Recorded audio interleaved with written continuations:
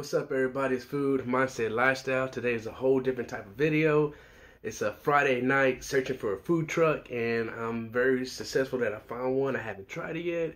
I want to talk about a little about them and just want to say if you live in Austin Austin Texas there's so many food trucks that you can go. There's North uh, North Austin. I live here for five or six years and I finally found maybe a decent food truck. We'll see you can see the food was going to come out. But if you live in East Austin, South Austin, man, they're all over the place. It's great food. I haven't had a bad food truck yet. Hope I didn't jinx it. So today I was on a mission trying to find a food truck by me. And I heard it was a food place park type area. It's a hookah bar. They, you can even go get a haircut there and they sell margaritas there at nighttime. It's a cool little spot. I never heard about this. And I parked, there was no light, and it looked kind of abandoned, so I kind of sketchy about it. So when I turned in, I parked. Uh, I parked in a dark area, and there was no light. It was weird. So I got out. As I was walking, I saw TVs in the background. Looked to the right, I saw hookah. I'm like, am I at the right place or where I'm at? Then I looked to the left.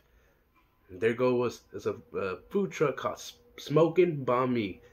If you don't know what a banh sandwich is, a Vietnamese sandwich. I tried a lot of banh mi sandwiches and hmm, because I'm half Vietnamese. And there's some in North Lamar. There's a place called Chinatown and Baguette's House that I go pretty frequently to go try these banh mi sandwiches. But for some reason, this sandwich stood out for me. Hope I don't get sick, but I'm taking a chance. But this is something that's really cool. So the the banh mi place that I, the truck that I went to, to go get is called Smoking Banh Mi.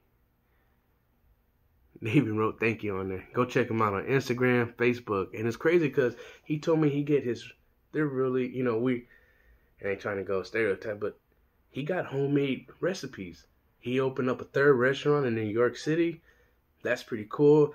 They're from California and they coming down. They were going to open up in, in Colorado, but they picked Austin, Texas. And I told them, y'all pick a good spot.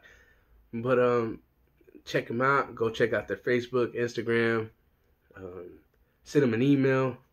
It's called Smoking Mi. So if you live in Austin, Texas, or New York City, I highly recommend you go check them out. So here we go. Here it is. There's a cardigan. Look at that. It says my name. All right. Let's see what we got.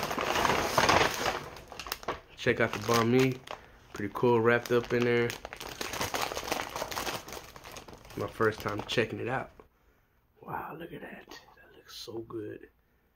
They said they smoke all the meat that they make. They sell chicken, they sell beef, pork. Look at the pork belly. That looks so good. Look at that. Oops, sorry. I never had a banh mi sandwich with, I guess, spring mix salad. You got some Thousand Island or some type of dressing. Tastes pretty, pretty good. All right, so here we go.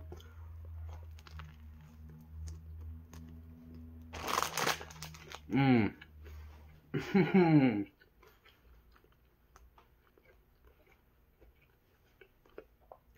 really good. Really, really good. Wow. I wasn't expecting that. The flavor from the pork belly, the the smoke. Wow. Please go check out Smoking Banh Mi Sandwich. Their pork belly sandwich is off the chain. Probably the best one I had so far. Wow. One more bite.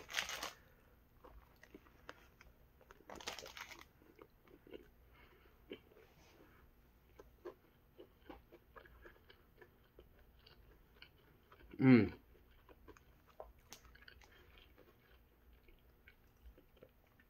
Just imagine, I couldn't even get their, their their sauce that they put on their sandwich due to my health problem.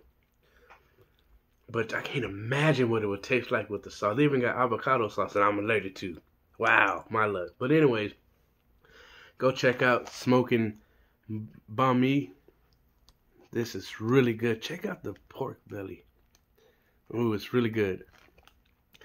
The spring mix salad on a banh sandwich I never had before. They put their some type of, I guess, like dressing salad on there and the pork belly and all that, it's a perfect combination. Thank you for tuning in. I hope you liked everything. Please hit the like, subscribe. Peace. Comment below if you want me to go do food truck adventure. That'd be pretty cool. Later.